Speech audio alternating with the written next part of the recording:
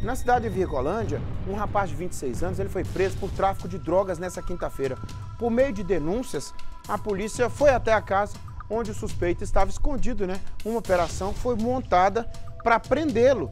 Durante as diligências, o denunciado saiu da residência e entrou em um veículo, né, que foi abordado próximo daquele local. Mas foi constatado na abordagem que o homem possui várias passagens pela polícia.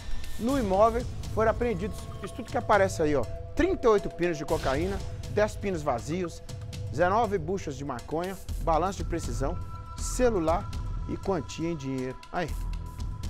Nossa Deus, é para todo lado, né? Virgolândia? Virgolândia. Meu Deus. É para todo lado.